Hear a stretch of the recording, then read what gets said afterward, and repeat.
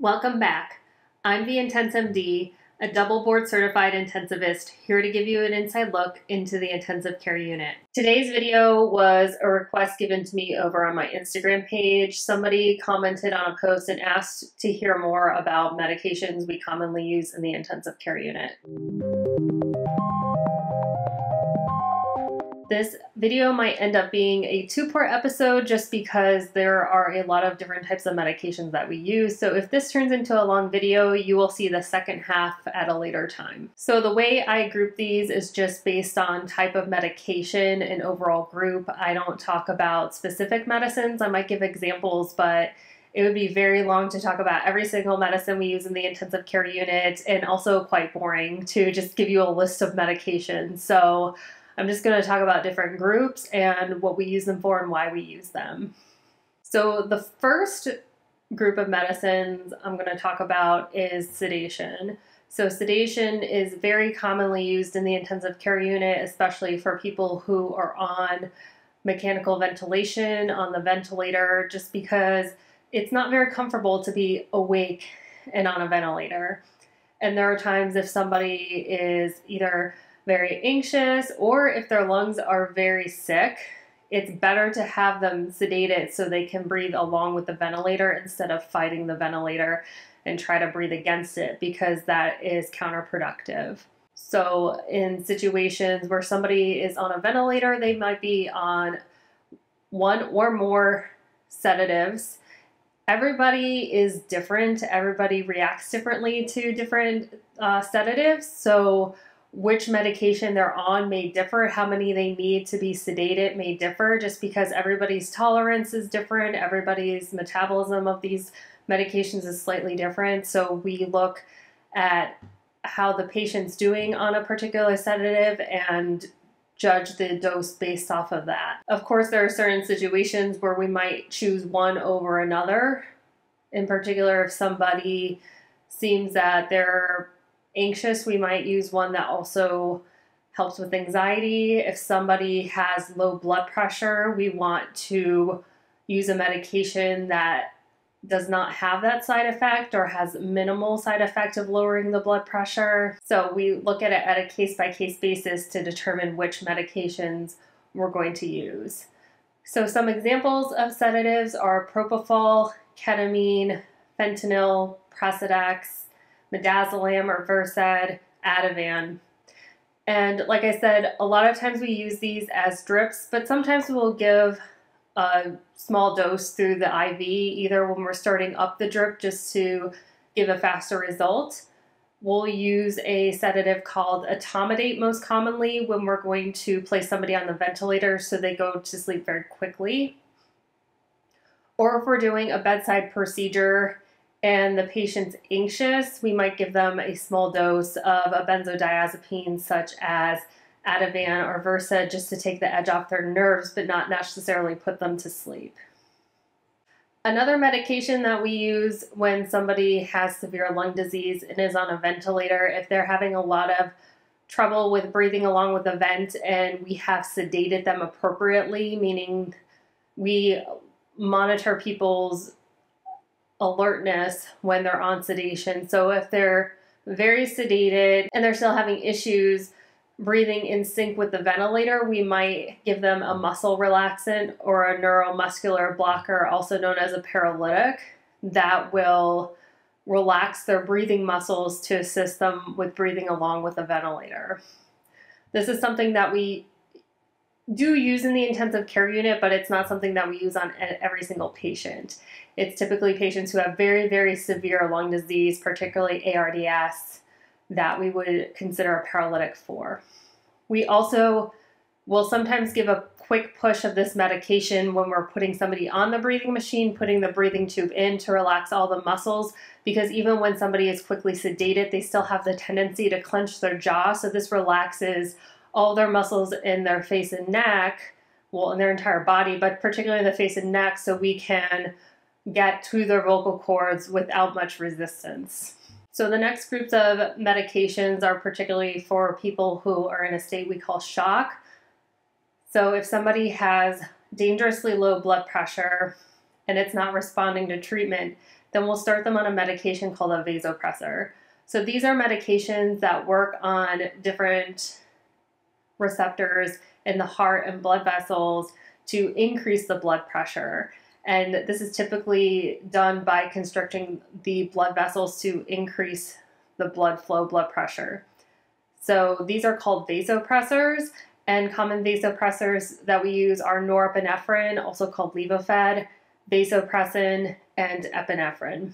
We also use medications called inotropes, which help the heart squeeze. So if somebody's heart function looks like it's decreased, then we may start them on a medication that helps their heart um, contract a little better. So some examples of these medications are epinephrine, dobutamine, milrinone.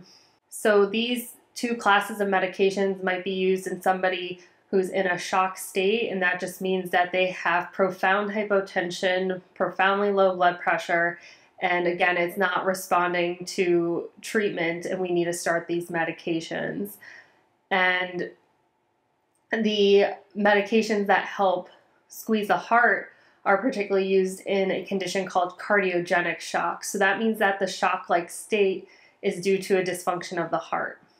On the other end of the spectrum, we have medications for high blood pressure.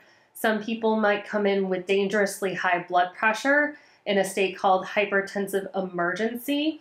And this means that their blood pressure is so high that they might be showing signs of organ damage to other systems. So it could be that they've presented with high blood pressure and shortness of breath because high blood pressure can cause a condition called pulmonary edema. They also may present with a stroke or dissection of their aorta, which is the large blood vessel that carries blood away from the heart to the rest of the body. It can also cause trouble with the kidneys.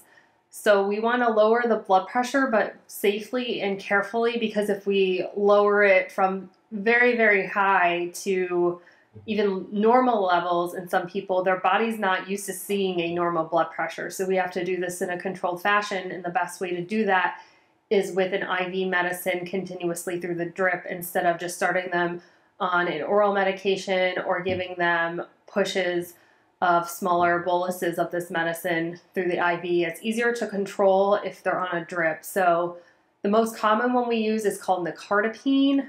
And this is a calcium channel blocker but we might also use esmolol, labetalol, and as pushes, we might use hydralazine or labetalol to help bring the blood pressure down, as I said, safely and carefully. And staying in the realm of cardiac, there are also medications called antiarrhythmics, which if somebody's heart goes into an abnormal rhythm, the most common abnormal rhythm in the intensive care unit is atrial fibrillation and particularly atrial fibrillation with RVR, which is rapid ventricular rate. So this means that in addition to having an abnormal heartbeat, it also means that it's at a very rapid pace.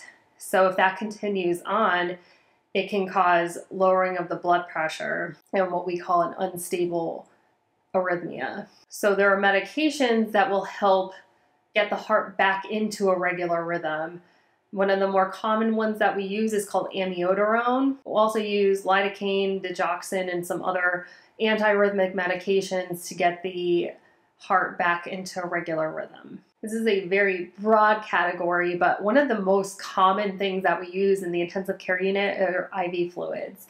And there are many states where somebody might come in what we call intravascularly depleted or dehydrated. So like I said earlier in this video, anyone in shock most likely needs some fluids. Not always, because if they're in cardiogenic shock, then that means that they most likely have too much fluid on their body. But if they come in with septic shock, or if they come in with in a condition called DKA or the HHNK, and these are two conditions where the blood glucose is very, very high, then this person is probably also very dehydrated. So we'll give them liters upon liters of IV fluids. We also use fluids to manipulate the serum sodium levels. If it's too high or too low, there are different types of fluids that we'll give for that. But in general, I'd say most people who come to the intensive care unit get some form of IV fluids at some time. And we closely monitor how much fluids, including the fluids accompanying medicines, are going into a patient and how much is coming out in terms of urine stool output, if they have any tubes that are draining, if they vomit, anything like that. We monitor closely how much goes in and how much goes out of a patient because that's something we want to know what, what we call their volume status. If they have hypovolemia, lower body volume, if they're euvolemic, it just means that they're balanced, about the same amount going in and out, or if they're overloaded, hypervolemia. So these are things that help us determine what a patient needs in terms of treatment. Some common IV fluids that we use are normal saline and lactated ringers, and those are both what we call crystalloid, and that just has to do with the composition of the fluid itself. And there are times we also use a colloid called albumin. And of course, if somebody is overloaded, then there is a different type of medication that we would give them called a diuretic. Diuretics are medications that work inside the kidneys and help the kidneys pull more fluid outside of the blood volume into the urine. So if somebody gets a dose of a diuretic, within a couple hours, they should have an increased urine output, helping take some of this fluid off of their body. The most common diuretic that we use is Lasix, and a lot of people may also take this at home to manage volume overload. We may also use a cousin of Lasix called Bumex. But there are several types of diuretics that we use, but the most common one, and again, a lot of patients end up getting diuretics when in the intensive care unit, especially if it looks like they're heading towards the volume overloaded side of the spectrum, is Lasix.